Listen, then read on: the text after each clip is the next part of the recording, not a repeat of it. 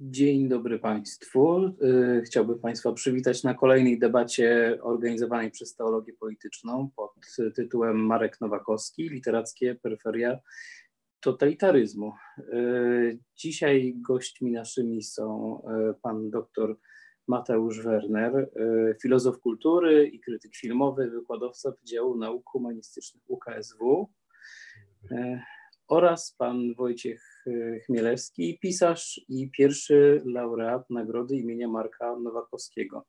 Miał być z nami profesor Maciej Urbanowski e, z Uniwersytetu Jagiellońskiego, ale niestety e, problemy techniczne przeszkodziły panu profesorowi w dołączeniu naszego spotkania.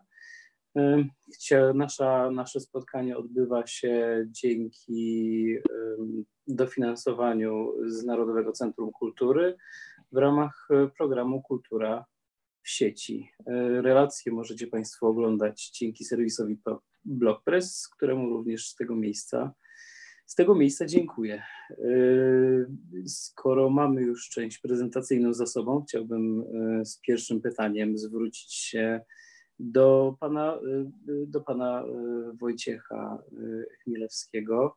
I chciałbym się zapytać, y, jako laureata nagrody y, imienia Marka Nowakowskiego, kim dla, kim dla pisarza współczesnego jest inny pisarz. To nie chodzi mi o jakieś kwestie inspiracji czy, czy, czy wpływów, ale jak jakaś paralelność dróg pisarskich czy wyborów y, twórczych może wpływać na, na, na innego pisarza.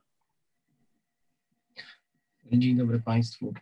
E, to chyba zawsze jest tak, jak mi się zdaje, że mm, ktoś, kto pisze, szuka wokół siebie jakichś źródeł inspiracji, szuka też może wzorów czy punktów odniesienia.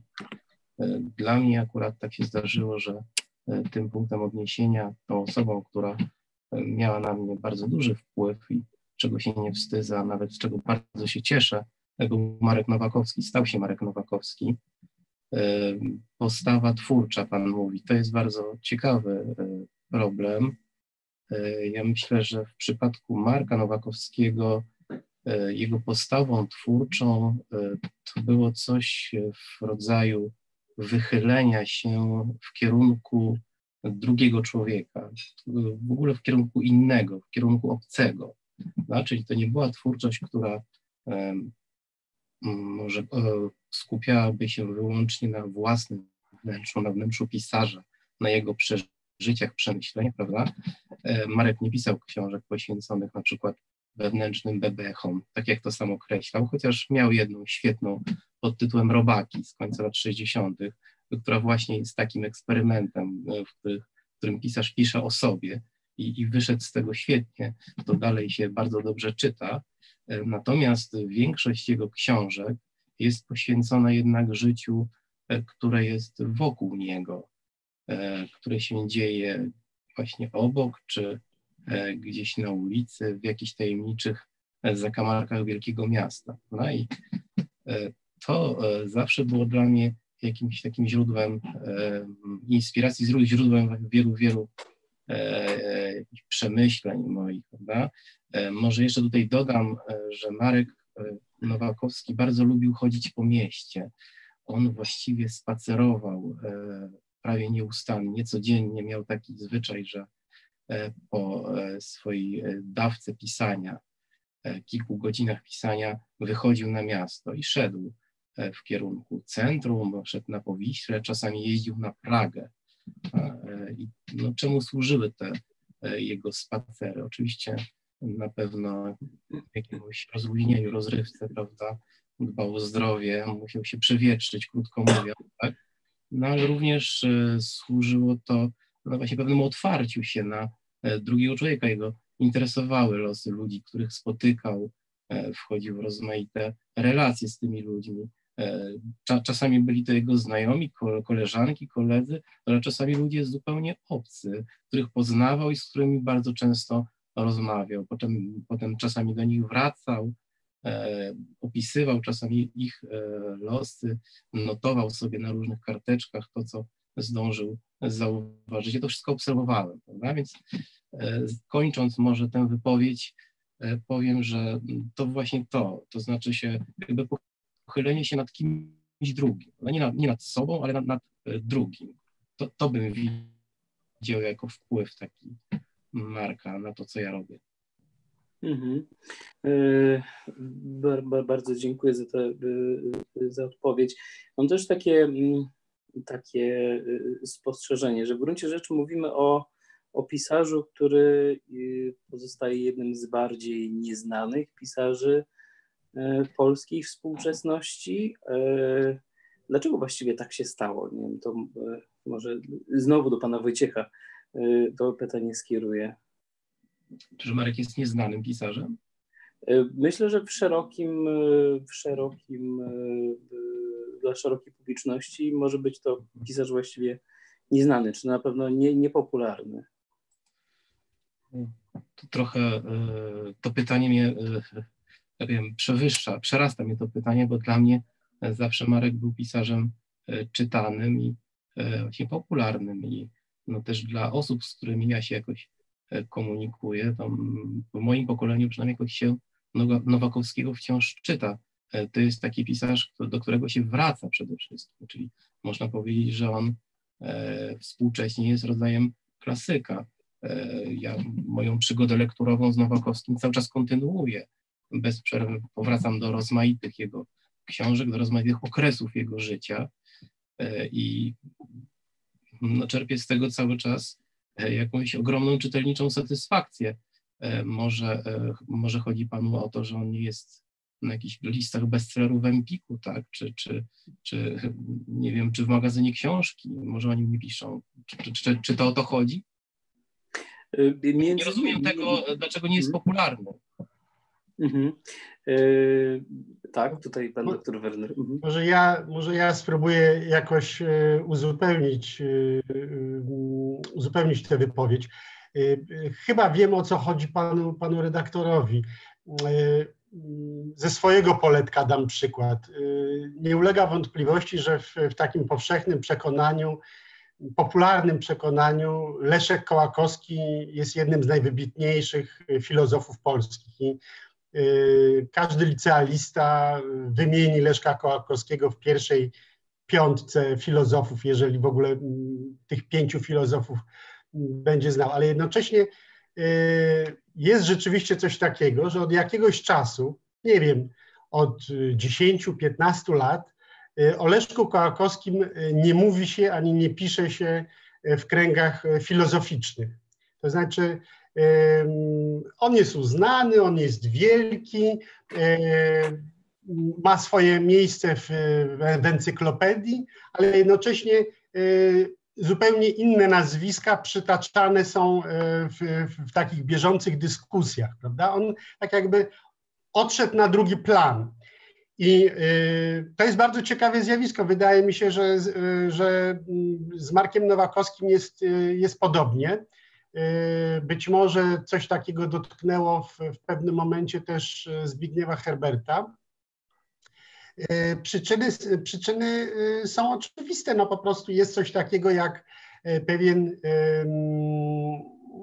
stan świadomości w danym momencie debaty publicznej i ten stan świadomości wykorzystuje mm, pewne nazwiska, pewne, pewne dzieła do swoich potrzeb, do potrzeb y, y, formatowania, by także z debaty, prawda? Z różnych powodów Herbert Nowakowski czy, czy Kołakowski są, są niewygodni dzisiaj.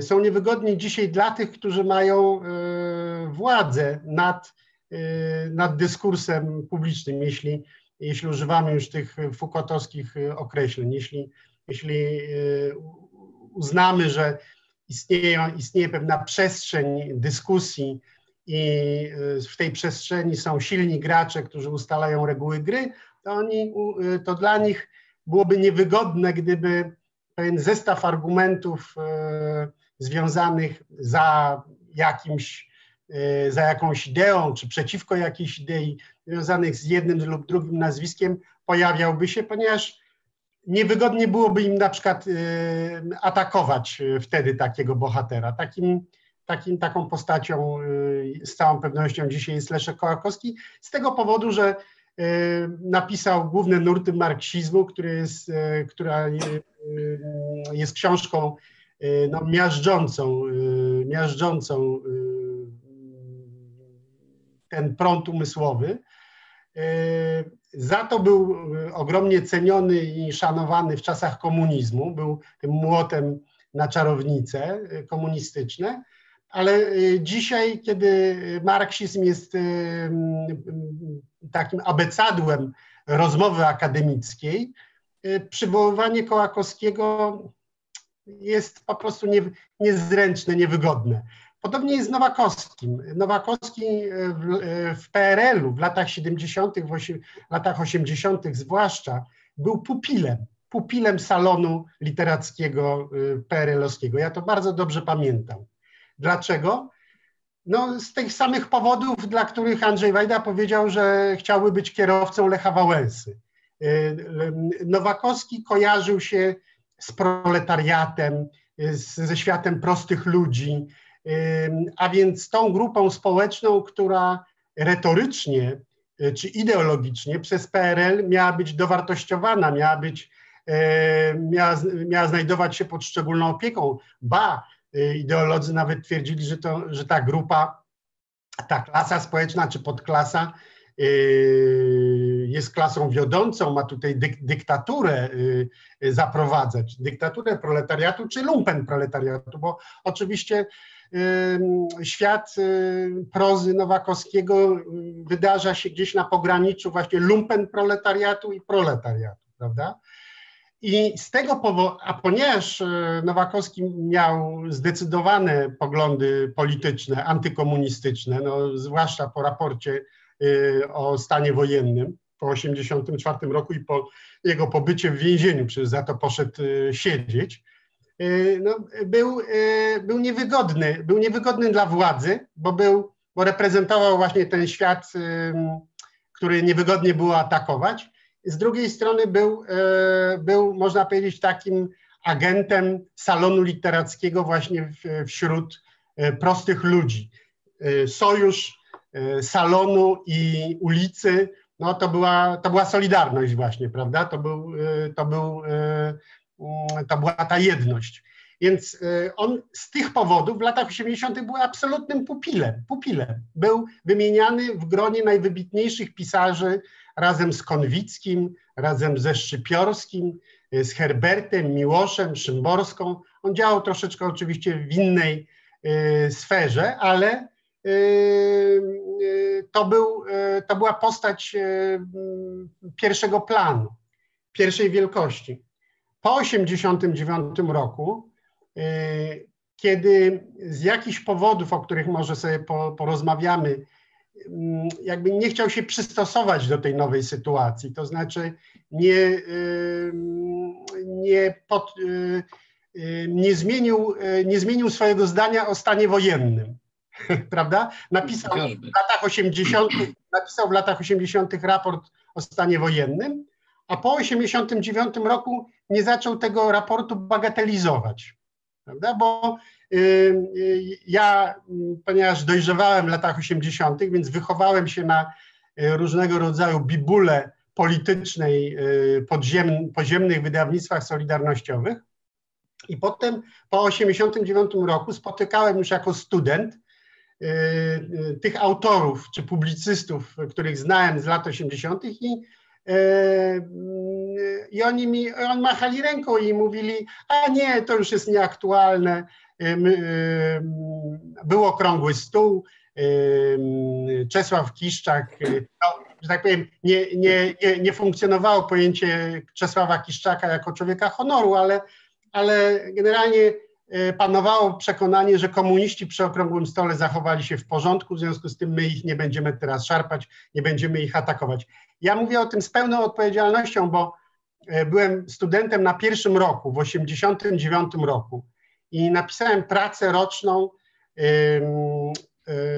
o pokoleniu stanu wojennego, opierając się właśnie o wydawnictwa bezdebitowe podziemne. Ja jako, jako bardzo młody człowiek, no, wierzyłem, że komuniści są śmiertelnym wrogiem. I spotykałem się z wieloma wybitnymi socjologami, naprawdę, że tak powiem, znanymi nazwiskami, żeby zebrać dodatkowe materiały do tej pracy. I oni mnie kładli mi rękę na ramieniu, mówili: Nie, niech pan się uspokoi, nie, to już jest nieaktualne. To była, par, to była parodia stanu wo, wojennego, to, była paro, to był kabaret, z tego się należy śmiać. I Marek Nowakowski nie, nie, nie zmienił tego swojego stosunku. On jakby pozostał E, w, w tym e, paradygmacie, by tak rzec, nie chcę powiedzieć patosu, ale pewnej jaskrawości, jaskrawości postaw uczciwych, godnych,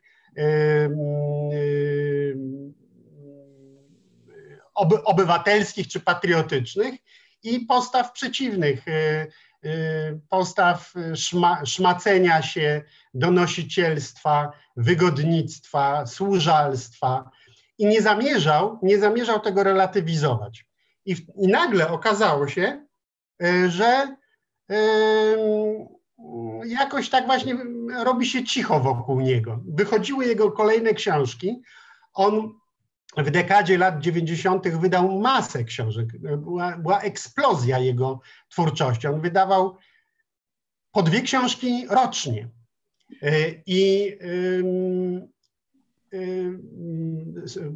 proporcjonalnie do tej kolosalnej produkcji literackiej stosunkowo mało się na ten temat pisało. Jakby inne, inne zjawiska. Nagle Tomasz Tryzna stał się y, najwybitniejszym pisarzem polskim, o czym zaświadczy Czesław Miłosz, prawda? I Panna Nikt była najwybitniejszą y, powieścią polską. Y, tego typu rzeczy się. Weiser Dawidek, to była, to była największa powieść polska. Więc tak, a Nowakowski, który miał w roku 89 54 lata, był absolutnie u szczytu swoich możliwości twórczych. E, nagle, nagle zaczął być przesuwany do poczekalni, do, do, do, do jakiegoś przedpokoju, e, do y, przedziału y, y, drugiej klasy i tak dalej, i tak dalej. I więc y, z całą pewnością, z całą pewnością y, nie można powiedzieć, że Marek Nowakowski jest pisarzem nieznanym. Wszyscy go znają oczywiście, ale tak jakby nikt o nim nie rozmawia. On przestał być tematem, on przestał być tematem prac magisterskich, on przestał być tematem y, modnych y, recenzji w modnych czasopismach.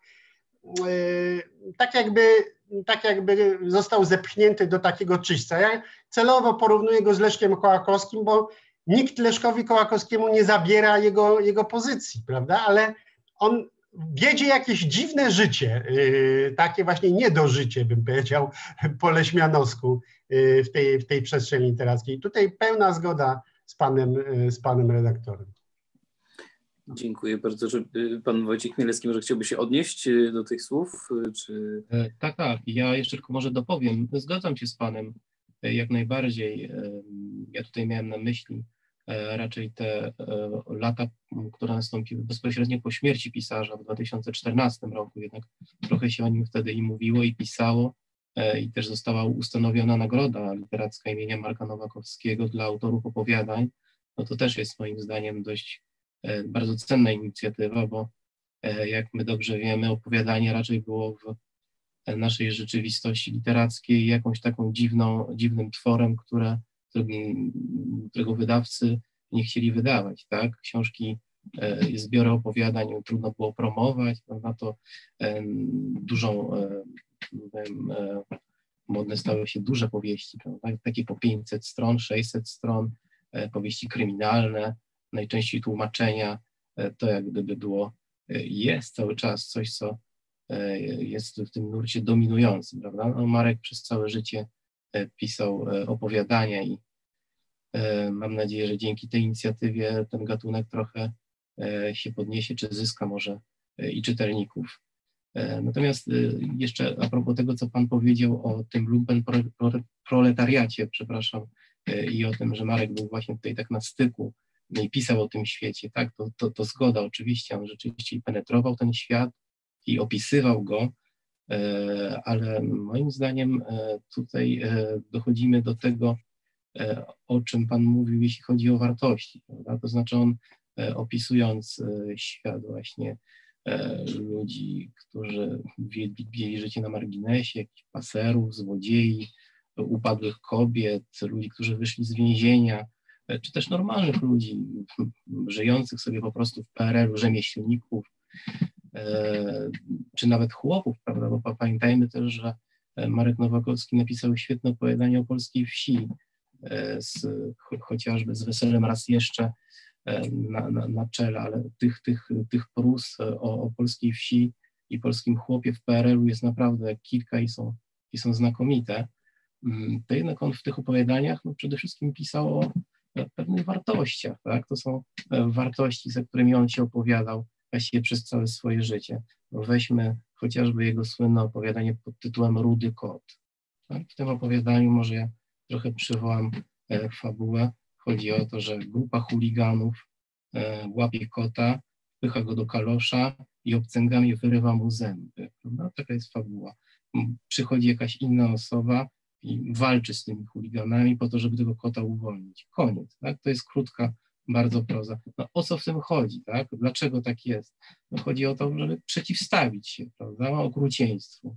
I w tych opowiadaniach, w szeregu tych opowiadań, prawda, Marek Nowakowski opowiadał się właśnie nie za kłamstwem, tylko za prawdą, nie za kapowaniem, prawda, tylko za e, solidarnością, i tak dalej, i tak dalej, prawda? I, i, i, i tak jak Pan mówił tutaj, e, Pan Mateusz Werner mówił wcześniej, rzeczywiście no, po 89 roku zdarzyło się tak, że wielu z jego e, znajomych e, z tak zwanego salonu jednak moim zdaniem od tych wartości odeszło, tak?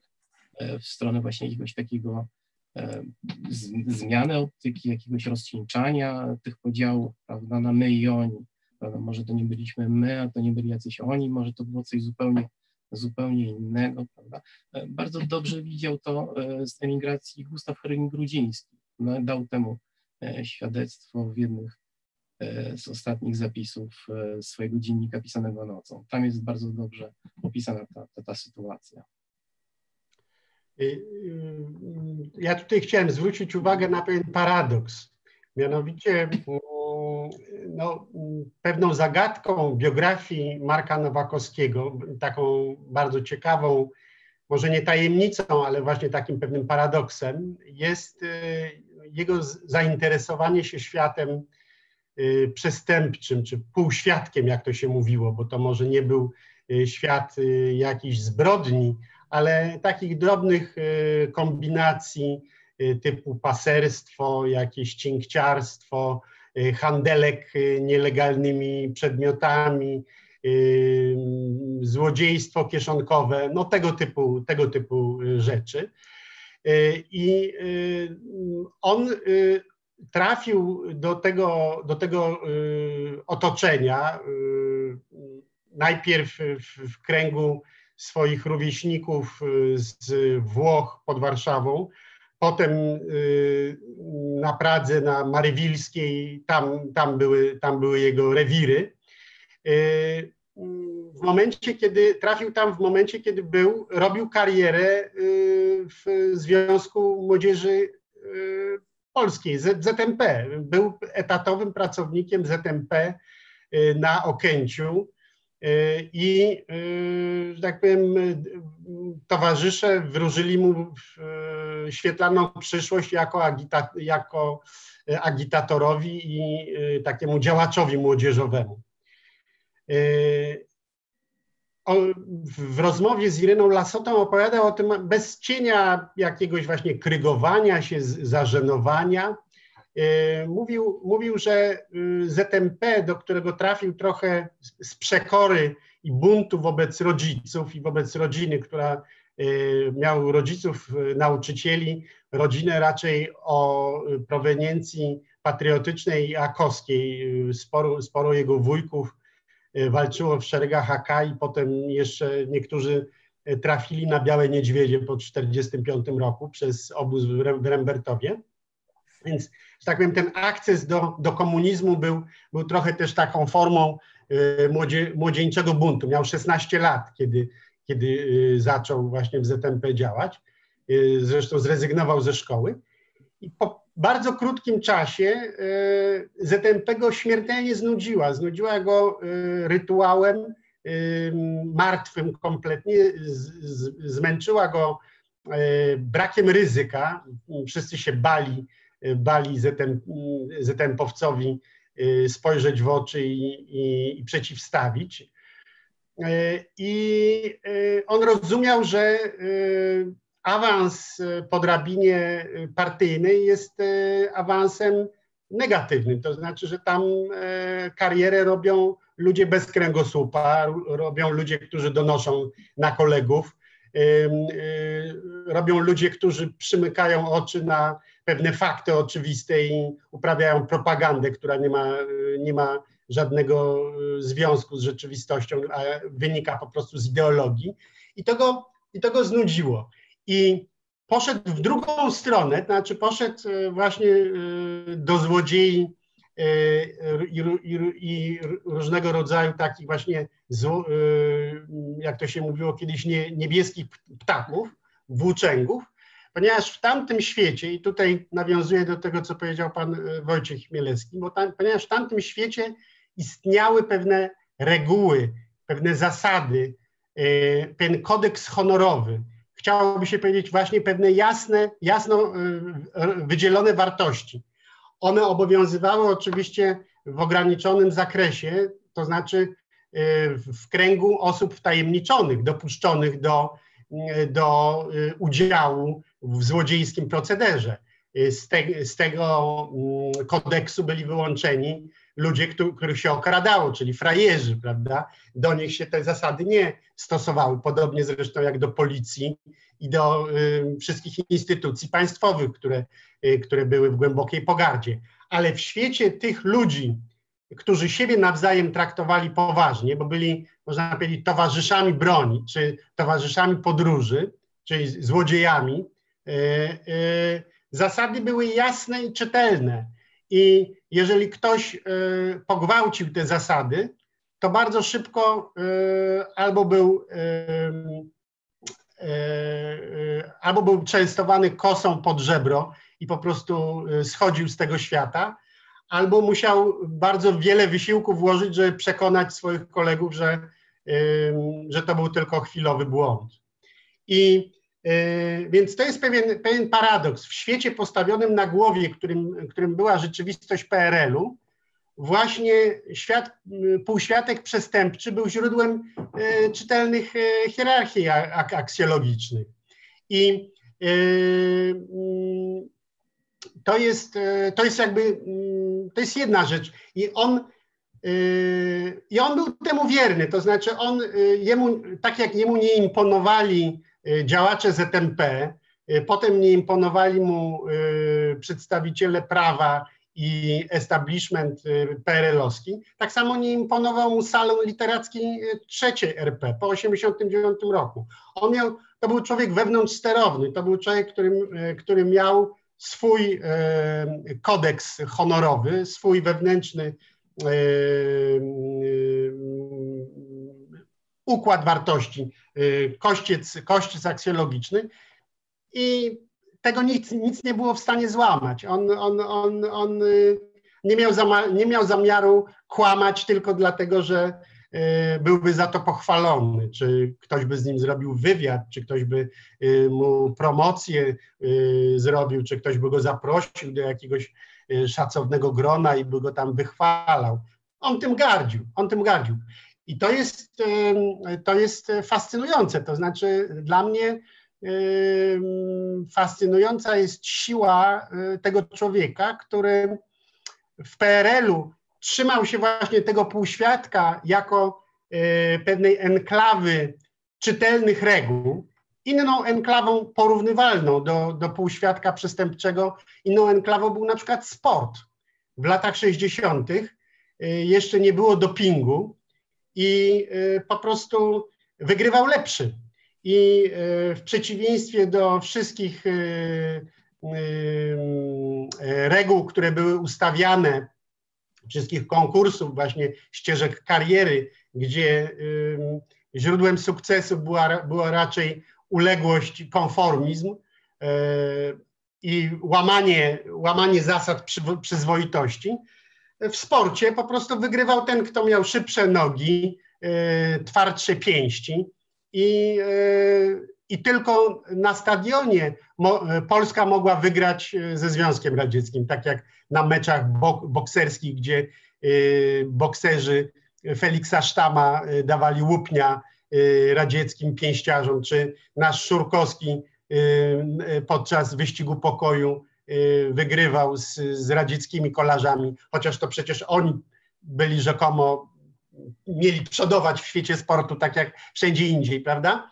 Więc były takie enklawy. Był, taką enklawą był sport, ale był, taką enklawą był, był również właśnie ten, ten światek, czy ten półświatek przestępczy, gdzie po prostu ktoś, kto kłamał, był natychmiast rozpoznawany i, i eliminowany. Ktoś, kto łamał reguły gry, wypadał, wypadał z tej gry. E, ale trudno, trudno właściwie rozstrzygnąć, e, co tutaj miało decydujący wpływ na taki akces Nowakowskiego do tego półświadka, bo e, kwestia aksjologii to jest oczywista rzecz, ale wydaje mi się, że tam w grę wchodziły też zmysły po prostu. To znaczy ten, ten półświatek był jednocześnie e, enklawą prawdziwego życia. E, życia naprawdę kolorowego, życia, e, w którym pewne rzeczy rozgrywały się na serio. PRL był krainą nierzeczywistości. To, to nie jest przypadek, że, że Adam Warzyk na fali od Wilży, kiedy chciał się podlizać E, publiczności napisał poemat dla dorosłych, których opisał właśnie e, prostytucję, alkoholizm, wszystkie grzechy główne obyczajowe, prawda? E, to nie jest przypadek, że, że, że, że ten poemat nazwał poematem dla dorosłych. Co to oznacza? To oznacza, że rzeczywistość, która nie obejmuje tego, tego świata, czyli kultura oficjalna, jest y, dla dzieci, jest po prostu czytanką dla dzieci, jest czymś niepoważnym, jest czymś, jest życiem na niby, jest życiem na niby, papierowym życiem. A to prawdziwe życie, życie dla dorosłych, y, czyli tam, gdzie są prawdziwe wielkie emocje, tam, gdzie jest zbrodnia, tam są, gdzie, gdzie są prawdziwe pieniądze, tam, gdzie są y, namiętności realne to, to może się dziać tylko w podziemiu. To też rozumiał doskonale Leopold Tyrmand, prawda? Który umieścił złego właśnie w świecie, w tym półświadku, ponieważ jakby w świecie oficjalnym nikt nie palił amerykańskich papierosów, nikt nie, nikt nie chodził na dziwki, bo to jest zabronione, przyzwoici ludzie tego nie robią. W związku z tym żyją jakimś takim życiem ugrzecznionym, niepoważnym.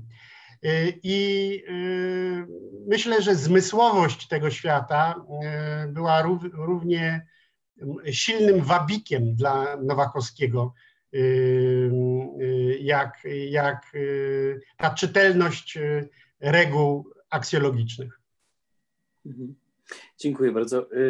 Tutaj pan doktor Werner uprzedził w gruncie rzeczy moje kolejne pytanie, tudzież częściowo je uprzedził, ale ja bym chciał jeszcze zastanowić się na chwilę nad y, miejscem Nowakowskiego na literackiej mapie y, Polski, ale nie tylko Polski. Y, gdzie on właściwie, czy można go gdzieś ulokować? Profesor Urbanowski, który miał być, miał być dzisiaj z nami, pisał o osobności Marka Nowakowskiego, a tutaj, jak usłyszeliśmy przed chwilą od pana doktora Wernera, można znaleźć jednak pewne paralele. Pojawiło się nazwisko Tyrmanda, pojawiło się nazwisko Herberta, y, ale także Leszka Kołakowskiego. Y, może w takim razie Nowakowski wpisywał się w jakiś szerszy nurt, a może jest to nurt, który ma nie tylko polski wymiar, a może nawet i europejski. Nie wiem, czy pan Wojciech Mielecki by się zgodził z taką konstatacją, czy, czy też nie? Y, jak najbardziej. Ja uważam, że Marek Nowakowski był pisarzem, który przede wszystkim e, właściwie od początku, od czasu swego debiutu w 1957 roku e, przyglądał się wszystkiemu temu, co dzieje się e, w naszej najnowszej historii. On właściwie był takim pisarzem, który by, był z nami, był z człowiekiem, był ze swoim czytelnikiem. No, ci czytelnicy, którzy czekali na książki Nowakowskiego w latach 70, 60., 70., 80., oni już też powoli odchodzą. Może to też jest jedna z przyczyn tego, że powiedzmy o tym pisarzu trochę mniej się mówi, taka pokoleniowa wymiana, prawda? Natomiast pamiętajmy też o tym, że to był taki pisarz, który przypominał nam o pewnych wydarzeniach. Ja tutaj i pisał o nich. Ja tutaj przypomnę o takiej książce, którą on napisał po wydarzeniach marcowych w 1968 roku, po tej nagonce antysemickiej, którą rozpętali komuniści. On napisał szereg opowiadań, ca, ca, cały taki cykl, prawda, i przekazał je do kultury paryskiej, do Jerzego Giedroycia. E, po pewnym czasie jednak wycofał się e, z pomysłu wydania tego e, w kulturze. On też rozważał, prawda, gdyby wydanie w, w, w kulturze wtedy i wydawanie w Polsce. Jednak nie zdecydował się na ten krok, ponieważ uznał i słusznie uznał, że tutaj miałby wtedy zakaz druku, czy jakby nie mógłby pisać i drukować, nie mógłby wchodzić w żadne relacje ze swoimi e, czytelnikami. E, przypomnę tutaj kazus Kazimierza Ormusia, o, jeszcze jeden ważny pisarz, który też jakby był w tym nurcie realizmu, powiedzmy szeroko rozumianego w okresie PRL-u. On z kolei wydał cudowną Melinę u Giedroycia i pamiętajmy, był, był to rok 70, on do 89 roku miał zakaz druku, prawda? więc z tym też Nowakowski się liczył. Ale ta książka została wydana w 2009 roku, nosi tytuł Syjniści do Syjamu. E, no i właśnie jest taką relacją, tak? Jest, takim, jest taką relacją e, tego, co wtedy mówiła warszawska ulica na temat e, wydarzeń marcowych. Kolejna, minęła kolejna dekada, mieliśmy wspomniane tutaj przez Mateusza Wernera raport o stanie wojennym. To też była książka, która była odpowiedzią na wydarzenie historyczne. E, i świetną książką. Wtedy z kolei atakowano Nowakowskiego, że jest to jakiś e, płaski, mm, płaska proza, że to jest coś e, już bardzo bliskiego, zbliżonego do reportażu, na no, jakiś taki płaski realizm, to, to, to, coś takiego mu zarzucano. Po latach okazuje się, że to nieprawda, że raport o stanie wojennym broni się, świetnie, czyta się te opowiadania świetnie. One rzeczywiście są chyba jedynym, jedynym tak znakomitym świadectwem literackim tamtego czasu. E, w końcu 89 rok, tak, dekada e, nowa, prawda? I tutaj e, kolejne książki Marka Nowakowskiego, chociażby groteskowe strzały w modelu George, czy Homo Polonicus, taki obraz polskiego nowego biznesmena z taką jakby wiejsko, wiejskim backgroundem. Prawda? E, czyli można powiedzieć, że on przez cały czas e, był w tym nurcie e, realizmu i by reagował na wydarzenia, które działy się, działy się w kraju. Jego późniejsze książki, powiedzmy, powidoki i tak dalej, i tak dalej. Więc ja tutaj widzę go w bardzo szerokim kontekście w, literacji nie tylko polskim, ale no generalnie no przecież pis, pisarze, prozaicy zwłaszcza, E, prozaicy realiści, a za takiego uważał się Marek Nowakowski, no, w sposób go, na gorąco czasami reagują na, na, na wydarzenia, nie tylko polityczne, tak, na wszelkie wydarzenia, które są e, jakoś bliskie, jakoś, jakoś bliskie społeczności narodowi, w którym, w którym żyją, no, w którym żyją. Mm, ja tutaj jeszcze przypomnę taką e, sytuację, która mnie spotkała, bo ja znałem Marka Nowakowskiego Polskiego przez szereg lat. E, on kiedyś mi pożyczył książkę pisarza, którego ja nie znałem. Wtedy Patrick Modiano, książka Villa Trist. E, to był jakiś rok, może 2010, 2009, no i tak dalej. Ja to przeczytałem, bardzo mi się podobało i on powiedział, że tak, to jest bardzo dobry pisarz. E, ja potem sięgnąłem po jego kolejne książki. No, Patrick Modiano dostał Nagrodę Nobla w 2014 roku zdaje się, że w listopadzie, po śmierci Marka Nowakowskiego. E, widzę tutaj bardzo głębokie pokrewieństwo między e, tymi dwoma chociażby pisarzami. Patrick Modiano pisze o Paryżu. Właściwie każda jego książka dotyczy Paryża. Pisze o swojej przeszłości, pisze, pamięć jest taką rękojmią jego, jego twórczości. Podobnie było z Markiem Nowakowskim. Y, jeśli można dodać do tego, co powiedział pan Wojciech, ja, y, ja bym dorzucił tutaj nazwisko jeszcze przedwojenne, ale wydaje mi się, że, że y, dobrze znane Nowakowskiemu, Sergiusza Piaseckiego i kochanka Wielkiej Niedźwiedzicy. To jest, to jest pierwsza powieść znakomita literacko, która eksploruje właśnie ten świat więzienny, świat grypsery, świat złodziei, morderców w sposób literacki, to znaczy nie, nie sensacyjny, nie publicystyczny, tylko tworzy rzeczywiście taką fascynującą literacką wizję. Zresztą Sergiusz Piasecki też e, potrafił pisać właśnie bardzo realistycznie, bardzo. Czasem sięgał e, po, po, po środki groteskowe, kiedy wcielał się na przykład w, w postać żołnierza sowieckiego, który wkracza do Polski, ale, e, ale to jest świetny pisarz realistyczny. Natomiast po wojnie to jest przede wszystkim no, to zjawisko, które miało legitymizować y, dyskurs od, odwilży, tak zwany odwilży. Mówiłem tutaj o y, Adamie Warzyku, jego, y, jego poemacie dla dorosłych, ale na przykład kino i tak zwana czarna seria film, filmowa, czyli dokumenty Jerzego Hoffmana, Edwarda Skurzewskiego pod tytułem uwaga, chuligani, prawda? Czy ludzie z pustego obszaru, to jest 55 rok, 57 rok, czyli rok debiutu właśnie y, Nowakowskiego, Ludzie z pustego obszaru, y, film y, Kazimierza Karabasza i Władysława Ślesickiego opowiadający właśnie o takiej młodzieży zagubionej trochę, szwendającej się po, po, po Pradze. No i potem, potem lata 60., które już są bardzo bogate w różnego rodzaju inicjatywy, bo mamy, mamy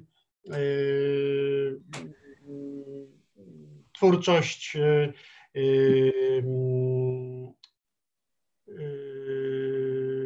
Antoniego Krauzego, który, który ekranizował zresztą scenariusz, opowiadanie, scenariusz Y, meta y, według Marka Nowakowskiego, ale który można powiedzieć był takim bratnim y, duchem w, w kinie.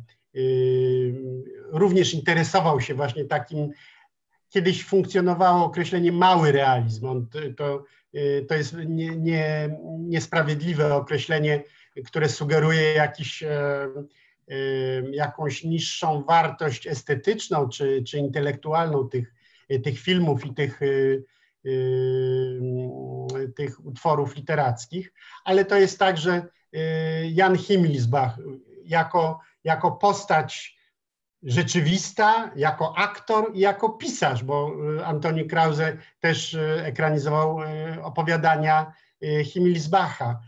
To jest postać Stanisława Manturzewskiego, socjologa, który napisał pierwszą pracę socjologiczną Y, poświęconą y, zjawisku chuligaństwa w Polsce, wydał ją w roku 60, y, i który wprowadził do literatury Jana Himmelsbacha jako, jako literata. I przecież, przecież ekranizacja, w tym wypadku Jerzego Sztwiertni, opowiadania, siedmiu opowiadań Marka Nowakowskiego z tomu Miserykordia, to, to się ukazało pod, y, pod tytułem Siedem Czerwonych Róż, czyli Benek Kwiaciarz. Taki jest, y, taki jest tytuł tego filmu Jerzego Sztwiertni.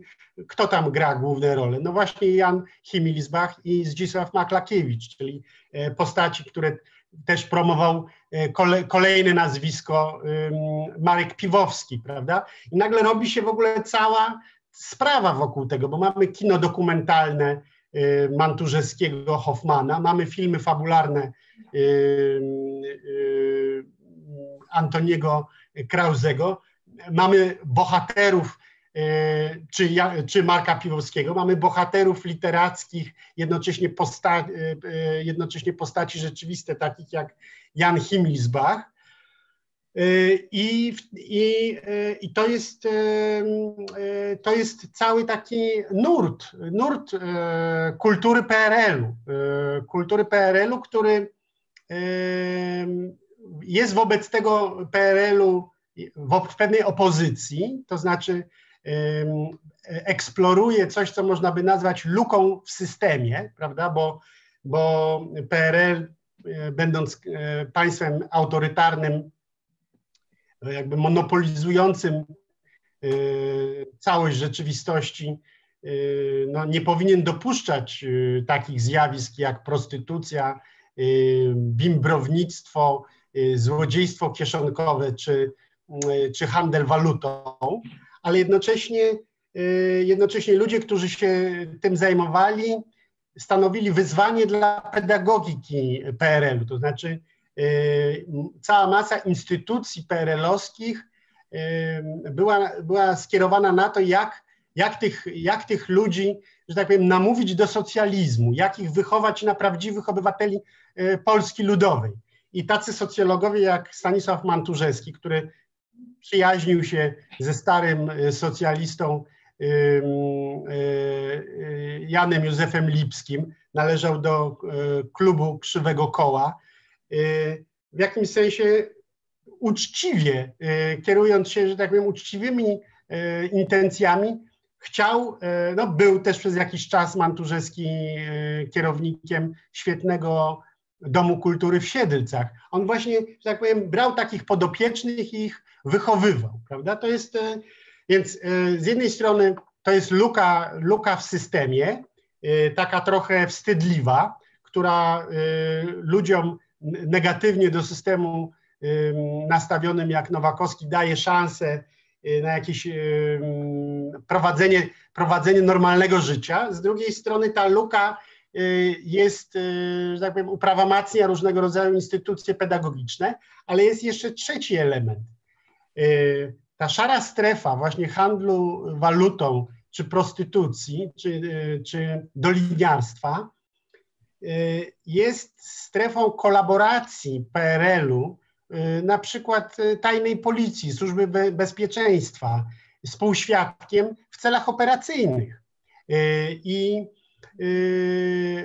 tacy ludzie jak taksówkarze, kelnerzy, fryzjerzy mogli, mogli się okazywać nagle cinkciarzami, sutenerami, tajnymi współpracownikami, prawda? Barmani różnego rodzaju. I to są postaci z opowiadań e, Marka Nowakowskiego. To, to go interesuje. Interesuje go ten półświatek, w którym dzieją się ciekawe rzeczy z ludźmi. I dokładnie to samo się dzieje potem po 1989 roku z ludźmi, bo nagle, nagle z uczciwego e, robola taki uczciwy robotnik zwolniony z fabryki, która upadła, zaczyna sprzedawać majtki z, z RFN-u czy jakiś proszek do prania, staje się biznesmenem i nagle, nagle musi się na przykład bronić przed ruską mafią, prawda? Więc zaczyna się organizować. To jest fascynujące, bo są, to są rzeczy, nagle się robi dziki zachód nagle się pojawia jakaś przygoda. No to jest, to jest po prostu złota żyła dla prawdziwego pisarza. Znaczy, prawdziwy pisarz szuka tematów. I nie chce tematów, nie chce tematów, że tak powiem, które mu suflują usłużne redaktorki, tylko chce dotknąć życia. Chce dotknąć życia i patrzy, patrzy na człowieka, który jeszcze rok temu stał przy tokarce, a dzisiaj biega z pistoletem po, po Warszawie, jest żołnierzem mafii pruszkowskiej. E, I zastanawia się, co się z tym człowiekiem stało, e, e, jak to wygląda. Albo patrzy na byłego Ubeka, który nagle wsiada do Mercedesa, zakłada aksamitny, jedwabny krawat i jest szanowanym bankierem, prawda? I udziela kredytów. Więc to wszystko się wydarzyło w latach 90. i to, co się nie podobało, to, co drażniło u Nowakowskiego, to było to, że on nie uznawał tematów tabu. Jego interesowało wszystko. Interesował go Ubek, bankier, interesował go robotnik, gangster, interesowała go nauczycielka, prostytutka, która była nauczycielką, uczyła rosyjskiego, a potem ludzie się przestali uczyć rosyjskiego, więc zaczęła sprzedawać swoje ciało i tak dalej, i tak dalej. To, by, to była rzeczywistość lat 90., która domagała się opisu. I on, że tak powiem, szedł y, za głosem swojego powołania. On był, dokładnie tak jak mówi pan Wojciech, on był prawdziwym pisarzem realistą. Ja pamiętam jako student, znowu włączę swoje wspomnienia z lat 90., zaprosiłem go kiedyś na polonistykę Działałem wtedy w klubie y, polonistów na Uniwersytecie Warszawskim i y, zaprosiliśmy go na wydział. Prowadziłem to spotkanie, ale przed spotkaniem on mnie, wziął mnie na spacer. Zaczęliśmy chodzić po, po kampusie uniwersyteckim. On chciał po prostu zobaczyć, kim ja jestem, żeby wiedzieć, kto będzie z nim prowadził spotkanie. Ja potem się dopiero domyśliłem tego, ale y, najpierw myślałem, że chcę zapalić papierosa, a to chodziło o to, żeby, żeby mnie wyczuć. I jak, jak, jak zrozumiał, że, że, że nie jestem jakimś podstawionym frajerem, y, zaczęliśmy rozmawiać poważnie i on mnie zaczął pytać o pewne określenia językowe na pewne, na pewne mm, czynności, tak to nazwijmy był, był, był ciekawy y, języka młodzieżowego. Ja miałem wtedy 20 lat, więc on uważał, że ja jestem, że tak powiem, y, okura z najnowszą y, frazeologią. I ja mu podawałem, podawałem te określenia i mówi tak, to znam, to znam, a coś ciekawszego pan zna? No takie. No może być, a jeszcze coś pan ma? I on był rzeczywiście, on był jak, jak poszukiwacz bursztynu. On się prze, przechadzał po plaży i szukał tych kamyków. Te, te słowa były dla niego e, kamykami rzeczywistości, z których on układał potem mozaikę. Było fascynujące. Ja nigdy, nigdy nie spotkałem człowieka, który był tak autentycznie zainteresowany tym, co usłyszy od drugiego człowieka. Potwierdzam to. Mhm.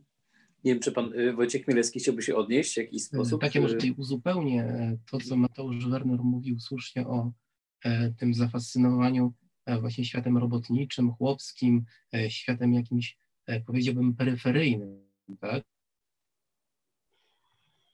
To oczywiście wszystko prawda, natomiast Marek Nowakowski również miał wgląd w świat elit i też o elitach pisał, elitach PRL-owskich i post-PRL-owskich. Jest szereg opowiadań, które on poświęca ludziom z samego Parnasu. Ja może przywołam taki, jedno, taki jeden tekst z tomu Necropolis. Tutaj akcja dzieje się E, w domu jednego z prominentnych pisarzy e, PRL-owskich. E, jest czas popaździernikowy, kolacja w domu. Bohater jest zaproszony wraz z małżonką, siedzi właśnie ów pisarz i jego żona, tłumaczka, która przyjechała z Francji. Rozmowa toczy się po francusku, czego nie rozumie bohater tego opowiadania. E, ten pisarz, e, który organizuje kolację, był znany z tego, że w czasach stalinowskich popełniał straszne produkcyjniaki. Pisał ohydne komunistyczne powieści, e, tak zwane właśnie, jak powiedziałem, no, wedle reguł ustalonych na zjeździe to w 1949 roku w Szczecinie. Prawda? Teraz jest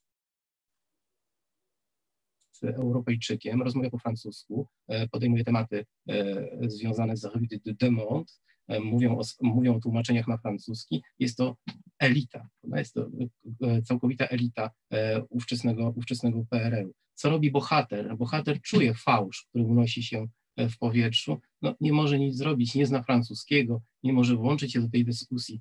Pozostaje mu jedynie taki tępy, prymitywny bunt, którego, którego, którego się wtedy dopuszcza, mianowicie przy tym pięknie zastawionym, pokrytym białym obrusem stole zaczyna się bawić swoją protezą zębową, wyjmuje ją i wkłada, wyjmuje ją i wkłada, prawda?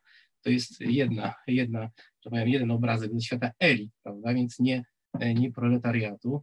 Drugi obrazek to jest opowiadanie poświęcone realiom e, mm, po stanie wojennym, czyli lata 80. Tutaj z kolei bohater jest zaproszony również wraz z małżonką do małżeństwa, które zajmuje wysokie stanowisko w Stowarzyszeniu PAX.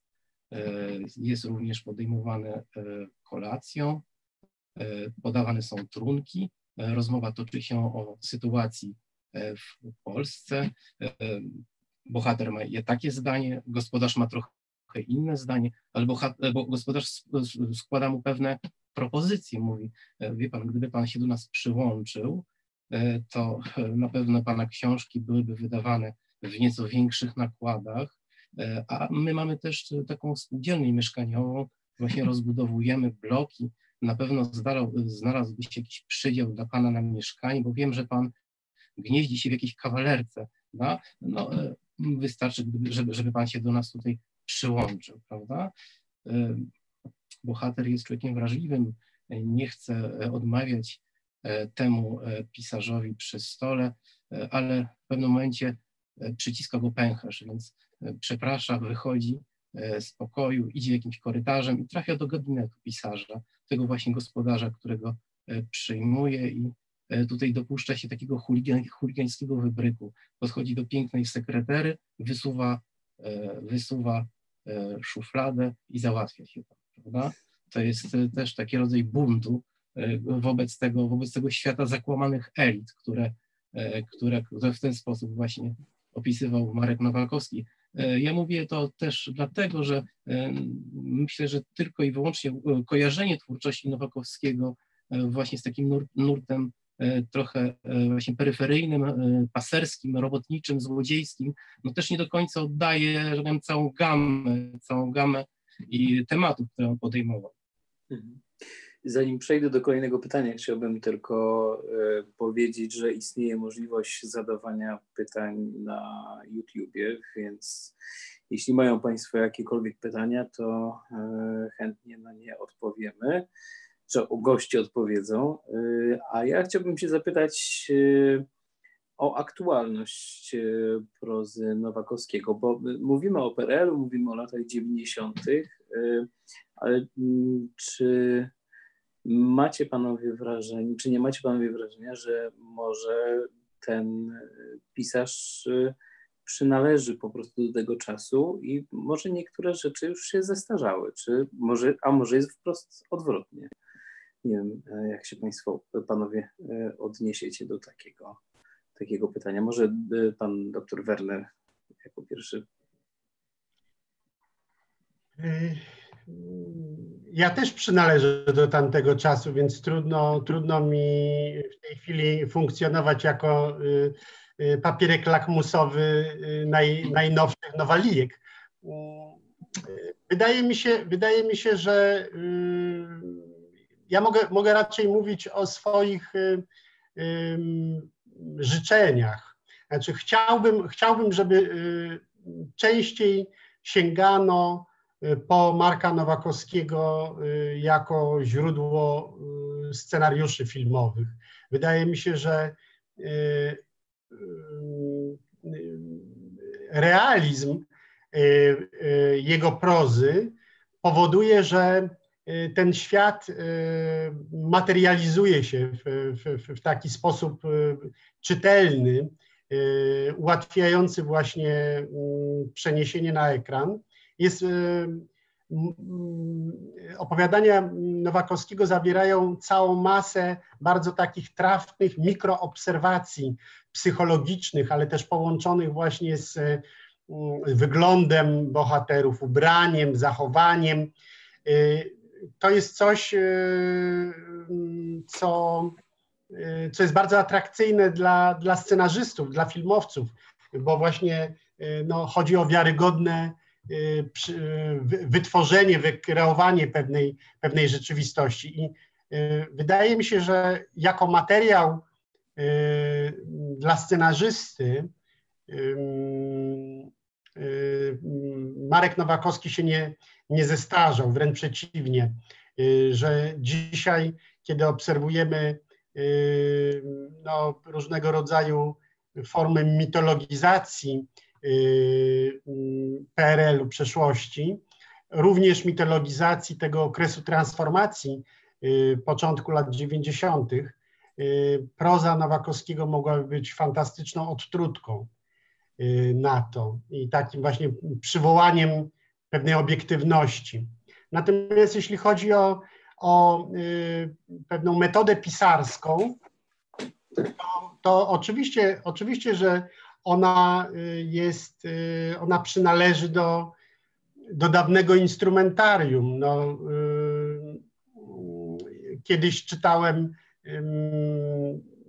taką relację z rozmowy z Raymontem, podczas której Raymond w sposób fantastyczny odtworzył y, całe otoczenie ulicy, jak malarz impresjonista po prostu wymienił, powiedział, wymienił kilkanaście osób z otoczenia, y, patrząc w oczy swojemu rozmówcy, mając po prostu fotograficzną pamięć.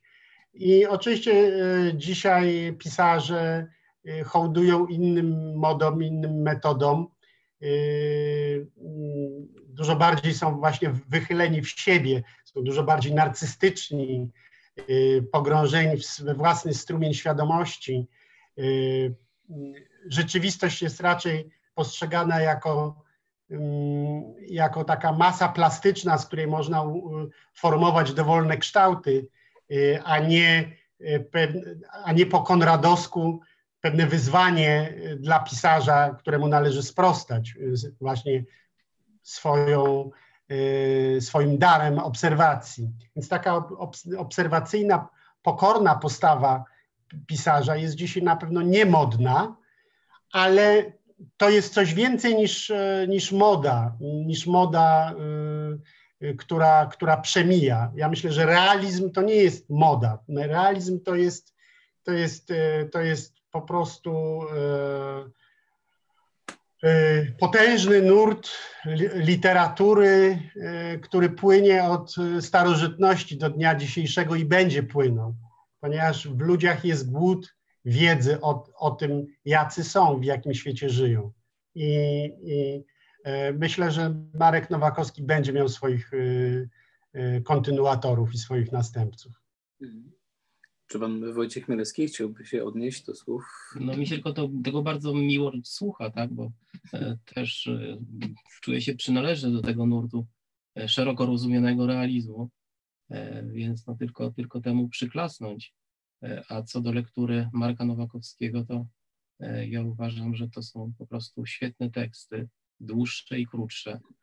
Tutaj czytelnik ma naprawdę bardzo, bardzo duży wybór, bo tych książek jest pewnie około 50, które zostawił Marek Nowakowski, e, poświęcone są naprawdę rozmaitym tematom i e, tutaj właściwie należy tylko sięgnąć po to, tak? tak? Może najtrudniejsze jest to sięgnięcie, prawda? Bo kiedy, kiedy już się e, zanurzymy w tym pisarzu, to myślę, że wtedy, ja tak miałem, tak, to też jest moje doświadczenie, jak ja zaczynałem czytać Nowakowskiego właśnie też w latach 80., E, to, to, to było tak, że mm, najpierw była jedna książka, potem druga, potem to już e, czytałem wszystko, co tylko, na co tylko mogłem, mogłem natrafić i, te, i tego też e, wszystkim życzę, bo to jest naprawdę przygoda, można powiedzieć, na całe życie, tak. Ja chciałem powiedzieć o jednej rzeczy, tak żeby zachęcić ewentualnych czytelników do sięgnięcia po, po prozę Nowakowskiego. Można patrzeć na świat y, przestępczy, czyli świat, y, w którym, bo świat przestępczy jest tak naprawdę światem, w którym rządzi prawo silniejszego. Czyli to jest świat, w którym działają pewne reguły na, y, instynktów, instynktu samozachowawczego i prawa natury. Mówiąc w największym skrócie. Więc można na taki świat patrzeć z przerażeniem. Oczywiście taką E, e, takim laboratorium, e, w którym te siły natury są skoncentrowane, skondensowane w największym stopniu, jest obóz koncentracyjny i można opowiadać o obozie koncentracyjnym z przerażeniem, jak na przykład robił to Tadeusz Borowski. Ale również więzienie jest takim, takim miejscem. Można na to patrzeć, opowiadać o tym z przerażeniem, jak pisał o tym Janusz Krasiński na przykład, prawda?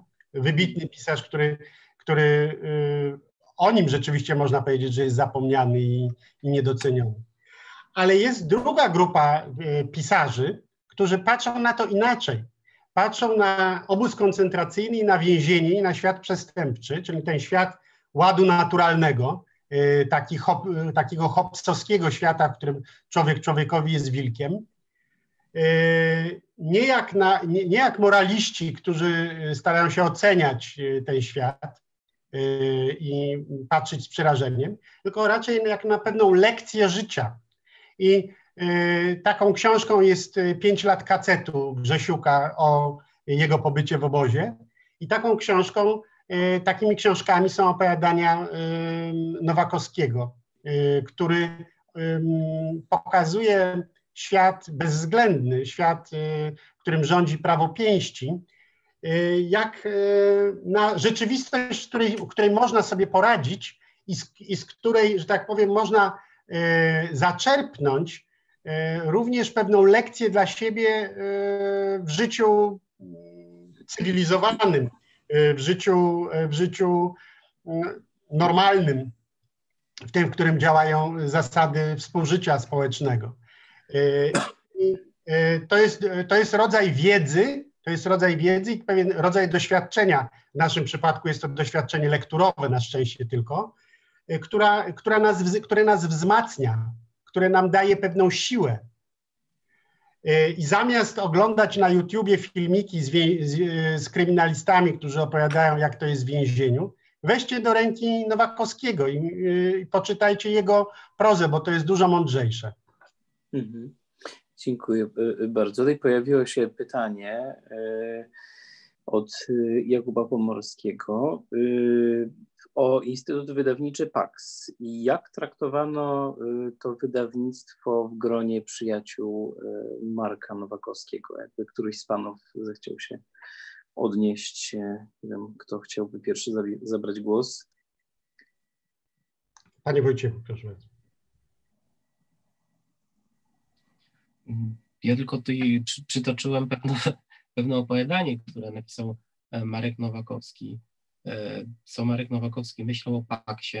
E, no ja myślę, że można bez, bez ryzyka powiedzieć, że myślał tyle, ile my wszyscy myśleliśmy w latach 80. o ludziach, którzy kolaborują z komuną po prostu, jako grupie kolaborantów, którzy wysługują się władzy w zamian za pewne, zapewne, że tak powiem, obrywy, tak? które, profity. Które, profity, tak, które otrzymują e, od tej władzy.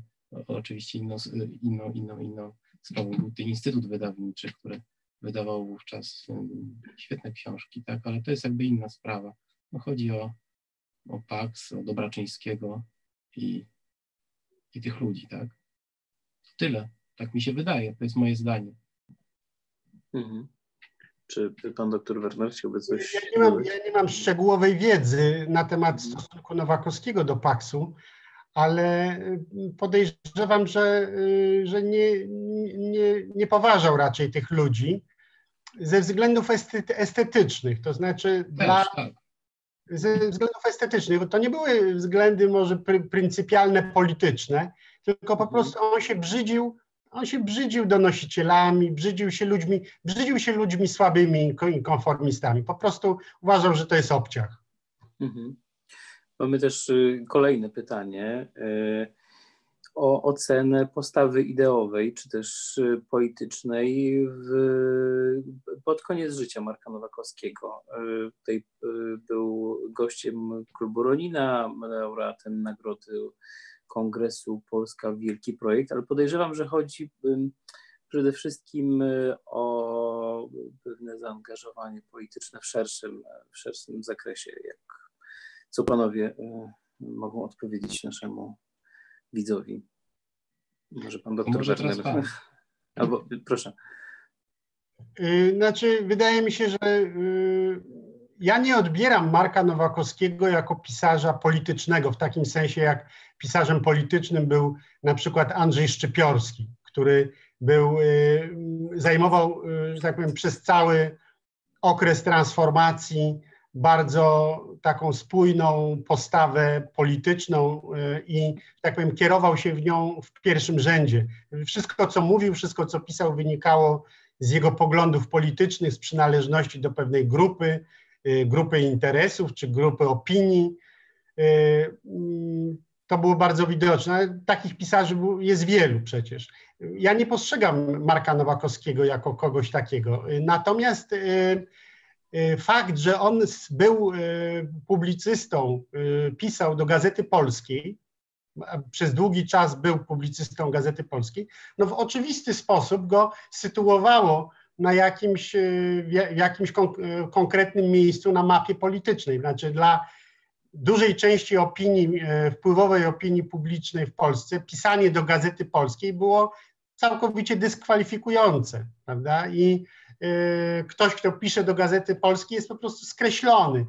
Nie wpuszczamy go do radia, nie pokazujemy go w telewizji, bo to jest człowiek, który y, wspiera y, wrogą opcję. I bardzo lubiłem słuchać w radio czy mm, czytać właśnie różnego rodzaju opowiadania czy drobne, takie ulotne teksty Marka Nowakowskiego, ponieważ one, one bardzo rzadko, jeśli no, w absolutnie wyjątkowych sytuacjach, mówiły o sprawach politycznych sensu stricto.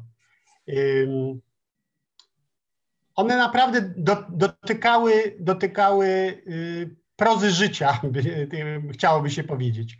Ale ta proza życia w wielu, w wielu jego przekazach nie mogła się nigdzie indziej ukazać niż y, w Gazecie Polskiej, ponieważ, y, ponieważ y, to się nie mieściło, że tak powiem, w obowiązującej narracji. No i on nie miał gdzie indziej pisać. Być może gdyby, gdyby, gdyby istniał w Polsce tygodnik literacki apolityczny, w takim sensie, że e, głównym kryterium byłaby jakość, e, jakość pisarstwa, a nie, e, a nie poglądy polityczne. Czy jesteś za lustracją, czy jesteś przeciwko lustracji, czy jesteś za dekomunizacją, czy, czy przeciwko dekomunizacji, co sądzisz o okrągłym stole, co sądzisz o Wałęsie, co sądzisz o gazecie wyborczej. Gdyby te wszystkie rzeczy nie były decydujące, tylko jakość pisania, to wtedy, to wtedy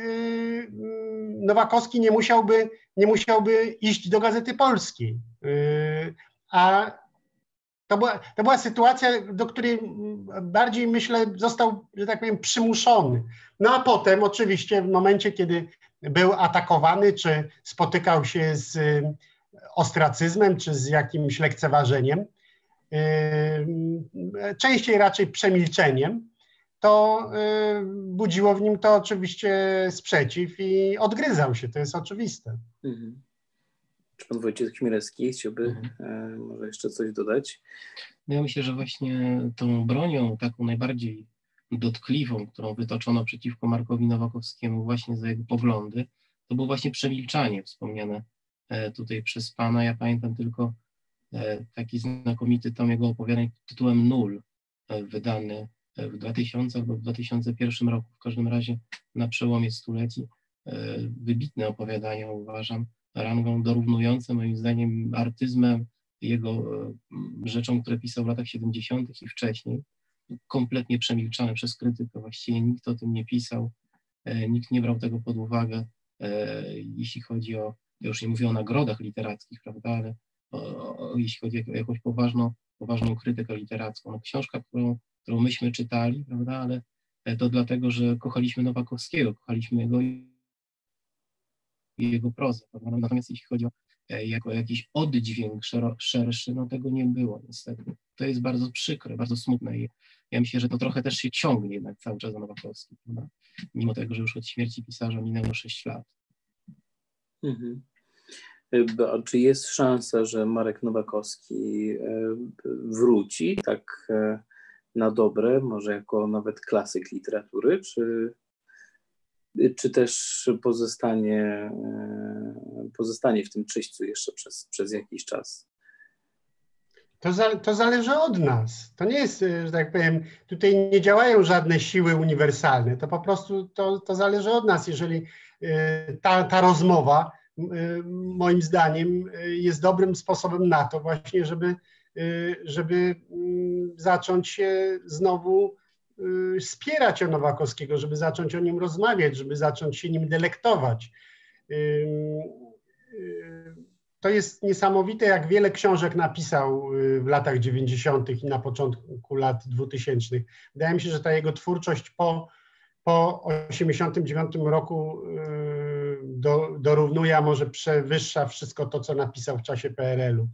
Y, I, i jest, y, ona, ona jest zapisem bardzo ważnego momentu w historii Polski, więc jeżeli Polacy będą się interesowali swoją historią, to będą skazani na Nowakowskiego, nie, nie będzie innego sposobu żeby, żeby, to, żeby to odkryć, ponieważ w tamtych czasach modni i lansowani nowi autorzy, Olga Tokarczuk, czy Tomasz Tryzna, czy, czy, czy jeszcze parę innych nazwisk można by tutaj podać, oni się zajmowali wtedy problemami, które no, podsuwały im, że tak powiem, redakcje wypatrujące y, różnych nowinek y, na Zachodzie. No, y, czas transformacji to był czas adaptacji, kooptacji, akcesji. Chcieliśmy jak najszybciej porzucić nas, nasze siermiężne tematy polskie, PRL-owskie i stać się Europejczykami, pisarzami światowymi, pisarzami, których będzie można promować na świecie, lansować Y, y, tłumaczyć na inne języki. Y, I dlatego pisarze zaczęli kombinować, jakby odwrócili się od rzeczywistości. A Marek Nowakowski nie. A Marek Nowakowski pozostał wierny tej rzeczywistości. Więc, a ja myślę, ja myślę sobie tak, ja tutaj w tym wypadku się zgadzam z francuskim filozofem Lacanem i, i, i powiem tak, że jeżeli się odwracamy E, tyłem do rzeczywistości, to e, to, co realne, nas e, zdzieli w pewnym momencie po głowie. No więc, więc lepiej czytać Nowakowskiego i, i komunikować się z tym, co realne. Mhm. Wojciech Mirecki. Tak, tak, to oczywiście jest wszystko, ja się pod tym podpisuję, tylko chciałem jeszcze zwrócić może uwagę na to, że to, co my czytamy o PRL-u Nowakowskiego, to jest oczywiście prawda, tak? On to, jest chyba jedyny z, jeden z niewielu pisarzy, który tak, który tak dogłębnie opisał PRL no, w, w, różnych jego mechanizmach funkcjonowania. Właściwie cały PRL można powiedzieć, że został przez Marka opisany, prawda? Ale nie tylko PRL, bo e, mamy też nurt twórczości po 1989 roku, prawda? Więc e, to też nie jest tylko i wyłącznie pisarstwo jakbyśmy tutaj powiedzieli, historyczne, prawda? E, bo e, wartości, o których pisał Marek Nowakowski, problemy, które on ubierał bardzo często e, właśnie w ten świat, czy te realia PRL-owskie, te problemy dotyczą nas cały czas tak teraz, jak i wtedy, prawda? Przyzwoitość, kapowanie, honor, godność, prawda? Jeśli chcemy o tym czytać, to czytajmy Nowakowskiemu, czy, czytamy Nowakowskiego, tam to jest, prawda? On o tym pisze, to są takie E, sprawy, które chyba są dla literatury, tak mi się wydaje, uniwersalne. Mhm. Tutaj chciałbym chyba już ostatnie pytanie w gruncie rzeczy e, zadać. I to myślę, że będzie pytanie do obu panów, bo e, może kwestia jest, może problem z recepcją Marka Nowakowskiego leży w tym, że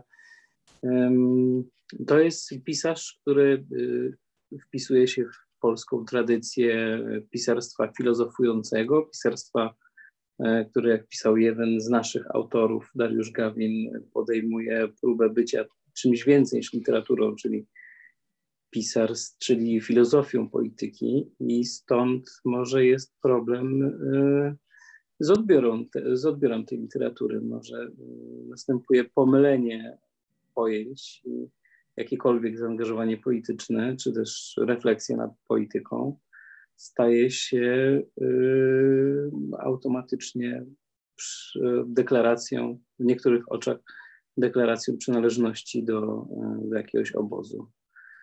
Jakby panowie odpowiedzieli na tak na takie pytanie? Nie jestem, nie jestem pewien, czy zrozumiałem pytanie, ale wydaje mi się, wydaje mi się że yy, nie powinniśmy obciążać naszymi interpretacjami intencji autora. To znaczy, yy, jak mało kto, yy, Nowakowski wydaje mi się odległy od takiego aprioryzmu właśnie filozoficznego, to znaczy mam jakąś wizję społeczeństwa, mam jakąś wizję człowieka, antropologię, mam jakąś wizję moralności i z tej wizji y, wynika moja y, y, wybiórcza percepcja rzeczywistości, prawda, którą potem przelewam na papier w postaci no, jakiejś wizji, jakiejś wizji świata. To nie jest, to nie jest e, metoda Nowakowskiego. U niego jest odwrotnie. U niego jest e, drobne kolekcjonerstwo. Maria Janion używała często tej metafory ze skąpca Moliera, mówiąc o kuferku Harpagona, do, której, do którego y, składuje swoje klejno, klejnociki swoich pomysłów. I właśnie y, Nowakowski był, był takim harpagonem przechadzającym się ze swoim kuferkiem po, po gościńcu i y, kolekcjonującym różne obrazy, różne sytuacje, różne słowa. I, i z tego tkał swoją, swoją opowieść. Jakie, jaką, jakie wnioski filozoficzne z tego wyciągniemy, to już jest nasza sprawa y, filozofów. Wydaje mi się, że y, Nowakowski nie jest natrętny w proponowaniu nam y, jakiejś, jakiejś teorii rzeczywistości czy teorii społecznej. Tak go, tak go odbieram. Wojciech Mielecki? No mi się wydaje, że Marek Nowakowski po prostu nie jest pisarzem wymyślonym. To znaczy on siebie nie wymyślił. Ja może cofnę się e, tutaj jeszcze do e, samych początków e, jego pisania i powiem, że on, kiedy podejmował te próby, tak, kiedy coś skłaniało go do tego, żeby sięgnąć po długopis i zacząć zapisywać to, co jakoś go bolało, frapowało, interesowało, wcale nie myślał o sobie jako prozaiku, nie myślał sobie, że ja będę pisarzem, będę drukował, będę wydawał książki. To samo przyszło w sposób naturalny. Dzisiaj czasami słyszymy E, wspomnienia, czy e, czytam wywiady z pisarzami, którzy bardzo chcą zostać pisarzami i dlatego e, właśnie piszą, no bo chcą zostać pisarzami. Nowakowski taki nie był, tak? To jakby wynikło z niego w sposób zupełnie, zupełnie naturalny. A propos tego, co Pan mówił tutaj o tej ideologii czy ideach, które być może są w jego mm, pisarstwie, bądź też nie, tak? To jednym z ulubionych pisarzy Marka Nowakowskiego był, był Izaak Baszewicz-Zinger. E, I to zdanie, e, które on często powtarzał, myślę też, że tyczy się do twórczości Marka Nowakowskiego, że pisarz nie powinien być tym, który nam tłumaczy rzeczywistość, wyjaśnia nam, jak ona funkcjonuje. Nie, pisarz powinien ją tylko opisać, na tyle, na ile potrafi. Ja myślę, że taki był Marek. Czy doktor, pan doktor Werner chciałby jeszcze ostatnie słowo może? Ja, ja, się, ja się zgadzam. Ja się zgadzam. Yy, opisywanie rzeczywistości yy, yy, było jego, jego, jego misją taką właśnie irracjonalną. Kiedyś yy, yy, pięknie Gottfried Benn yy, napisał wiersz o Chopinie, w którym zawarł takie właśnie zdanie, dlaczego Dlaczego Chopin komponował? Otóż Chopin komponował, komponował z artystycznego przekonania. I to jest i to jest, to jest irracjonalne. Nie nazwałbym tego instynktem, ale, ale kiedy wyszedł, kiedy Nowakowski wyszedł z więzienia, tego, tego swojego najdłuższego pobytu, napisał pierwsze opowiadanie, y, w którym opisał człowieka, który połyka różne przedmioty. To powiedział po prostu, czułem, że muszę to opisać. To był człowiek, który realnie istniał, miał imię i nazwisko. I on umarł w końcu po jakiejś operacji, umarł w więzieniu. I on powiedział, nie wiem dlaczego, dlaczego uważałem, że to muszę napisać, po prostu musiałem. I to nie jest, e, i, i myślę, że nie, nie, powinniśmy tego rozgrzebywać. E, powinniśmy z, z wdzięcznością przyjąć ten dar po prostu. Pojawiło się jeszcze pytanie, jedno, które myślę, że będzie zamykać naszą dyskusję. Y, od użytkownika, który się podpisuje SMOK. W, siedem, w siedmiu czerwonych różach grają cudowne postacie, jak świętej po pamięci Maklakiewicz, Himlisbach, Matysik, Borowicz i inni. E, I pytanie o to, czy y, Nowakowski świadomie wybrał taki rozrzut osobowości aktorów. Ale to przecież nie Nowakowski wybierał aktorów, to Jerzy Sztwiertnia y, dokonywał castingu. Być może, mhm. być może Nowakowski był y, tutaj konsultowany, bo y, Nowakowski miał y, doświadczenie. On pisał, napisał dużo scenariuszy filmowych i, i chętnie współpracował z filmowcami. Natomiast, więc być może pytali go o zdanie, ale to nie do niego należało mhm. najważniejsze słowo. Y, swoją drogą warto tutaj powiedzieć właśnie o Maklakiewiczu, bo jest, jest ta, w tym filmie występuje i Himmelsbach i Maklakiewicz y, i y, warto, warto przypomnieć, że postać Zdzisława Maklakiewicza jest głęboko zmistyfikowana. On właśnie był, jest uważany powszechnie za aktora nieprofesjonalnego, za takiego trochę niebieskiego ptaka warszawskiej ulicy, y, którego przygarnął Marek Piwowski, y, czy Janusz Kondratiuk, y, czy, czy właśnie Sztwiertnia. I to jest oczywiście nieprawda. To był chłopak z dobrego warszawskiego domu inteligenckiego po studiach aktorskich, wybitnie uzdolniony aktor Y, tylko bardzo leniwy. Y, nie lubił nigdy grać głównych ról, ponieważ do nich trzeba było się strasznie dużo uczyć i, i ćwiczyć. Zawsze prosił reżyserów o to, żeby mu dawali maleńkie rulki charakterystyczne, y, ponieważ wolał mieć dużo czasu wolnego dla siebie. I, i, i postać Himmelsbacha, który rzeczywiście był był, y, no, był kamieniarzem y, i takim y, autodydaktą. Tutaj go jakoś tak wciągnęła, chyba, chyba głównie za sprawą, za sprawą rejsu Piwowskiego. I oni od tej pory stanowili taką nierozerwalną całość, stając się taką parą, parą filmową. Ale mm, Wydaje mi się, wydaje mi się, że bo pytanie dotyczyło y, y, różnorodności mhm. charakterów, różnorodności postaci, no to jest po prostu pomysł scenariuszowy.